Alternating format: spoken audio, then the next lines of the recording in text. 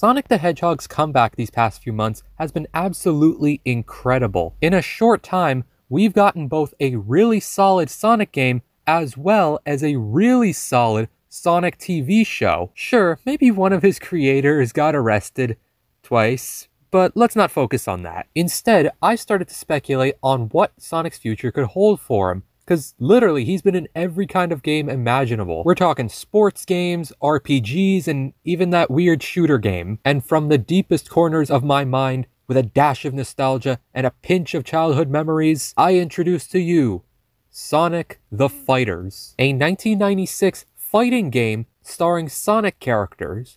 Now, this old game was janky, but it had a bunch of personality, and it raised the question what if Sonic characters were in a fighting game. And while there have been incredible fan games such as Sonic Smackdown, I want to try something else. I want to try Sonic the Fighters 2. And without further ado, let's start by building our roster. Also, a quick shout out to Thorgy's Arcade for giving me the inspiration to do this video.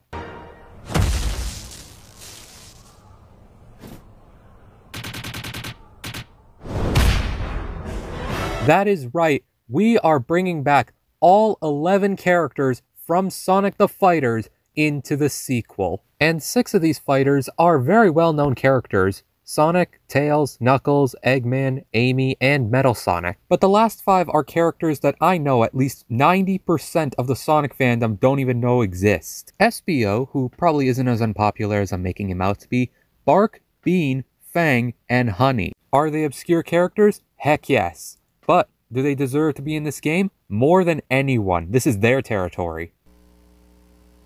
Sir, will you please stop staring at me? Where's the rest of you? I just realized I forgot to specify how many characters would be in the roster. Uh, whoops. But the base game would have 18 characters total, the same as upcoming Street Fighter 6. And because I need some limitations on what the DLC can bring, I limited myself to only 6 DLC characters, meaning 24 characters total. Now, would a company like Sega add more DLC characters?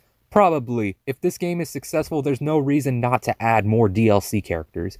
But I'm just lowballing it here. So, continuing on with the base roster, I'm just going to add characters that we all know that if a sequel was made to this game, these characters would absolutely not be left out to rot. It would be criminal to leave them out of this game. They are Shadow, Rouge, Blaze, Cream and Cheese as one character, Silver, Big, and Mighty. Now, I know Mighty might seem like a bit of an odd choice when it comes to popularity, as he's certainly popular, but just not to the degree of everyone else. But I really wanted to put all the Chaotix in here, and it just didn't feel right putting the majority of them behind DLC. And as to why I didn't add Vector instead of Mighty, because, you know, Vector is probably the most popular member of the Chaotix outside of Knuckles, well, I just kind of answered my own question. Vector is the second most popular character of the Chaotix. Of course, you'd rather pay for him instead of Mighty. But besides Mighty, all the other characters I mentioned fit pretty well within the popularity standards I put down. I mean, heck, even Big got some redemption during Sonic Frontiers. But with that, we are now done our base roster. So, let's move on to the DLC. That's right, folks. Longtime owner Mr. Krabs is opening a new restaurant called the Krusty Krab 2. First of all, congratulations, Mr. Krabs. Hello. I like money. Alright, let's start with the characters that you guys already were spoiled about. Vector and Charmy, aka the last two members of the Chaotix. Also, I'm sorry if I'm missing any additional characters to the Chaotix. I'm just going off the ones that were in Knuckles Chaotix. But now moving on to characters that I know I haven't spoiled you on, we have Sonic. Wait, didn't we already have...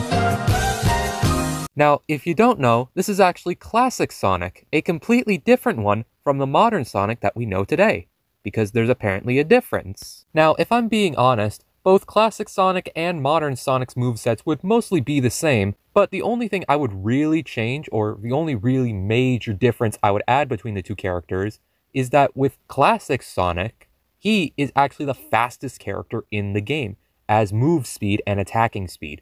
But his attacks are the weakest in the game. And people can't be mad at that because technically, Sonic is still the fastest character in the game. I hope my air quotations made it through the screen. It's kind of hard to tell. For my third last character, we have Sticks, who was introduced in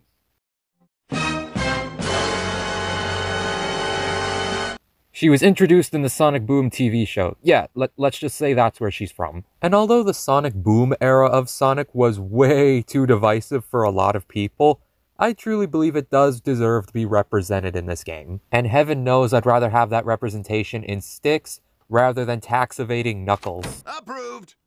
For my penultimate pick, we have another obscure character, Jet, from the Sonic Riders series. Right on these nuts, yeah! Also, with only one spot left, unfortunately I cannot add either of the two Babylonian rogues, because I have someone much better in mind, so I apologize. But the final character I will be adding to this game is one that has been around for a very, very long time, but yet still is one of the most divisive characters in Sonic's history. They are Sally Acorn. Now, if you don't know who Sally is, I wouldn't blame you. She's a really, really obscure character even for a lot of Sonic fans. But all you really need to know is that she's originally from the 1992 Sonic series, Sonic the Hedgehog, often referred to as SatAM, where she was the main heroine of the show and Sonic's main love interest before Amy. But ever since then, she's been mostly relegated to the comics, and in all honesty, I'm not the biggest fan of that decision, but hey, that's just me. But I do hear some of you saying, oh, why is she going to be part of a mainline Sonic game? She hasn't even appeared in one before this. To which I say, yeah, this ain't gonna be a mainline Sonic game. This is just gonna be a fun little party game like Mario Kart or Mario Party or Super Smash Bros. Also, there have been rumors that Sally will be appearing in the upcoming seasons of Sonic Prime, so if you wanted to generate some hype for the show, make it so that this Sally comes from another universe and she's looking for her Sonic which is not going to be modern Sonic or classic Sonic. Not only would it explain why Sally has never been in a Sonic game before, but it would get people talking about your newest show. Oh, and speaking of different universes... Alright, in Fighting Game Faction, I have 99 seconds to explain this next part because I don't want to ramble on. Let's go!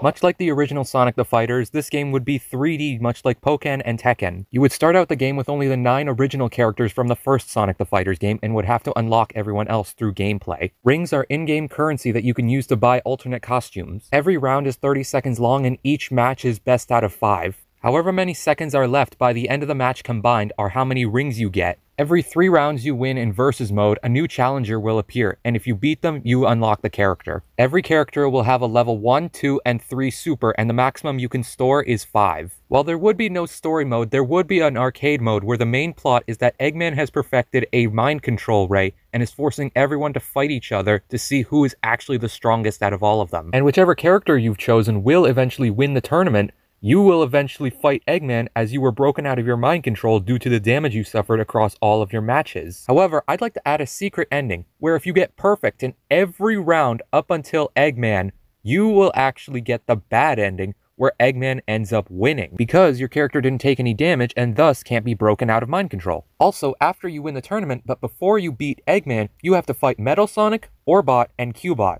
But the only gimmick here is that Orbot and Cubot are one-hit KOs. Sorry. There will be 14 different stages, characters will have unique win quotes against each other, and every character will have a unique ending in arcade mode. Winning the tournament with either Eggman or Metal Sonic automatically gets you the bad ending. It's possible that create a character from Sonic Forces might come back. References like Omega running the settings, Sonia and Manic running the music, and intern Dave working at the shop are all going to be in the game too. Also, there's a gallery and character info section.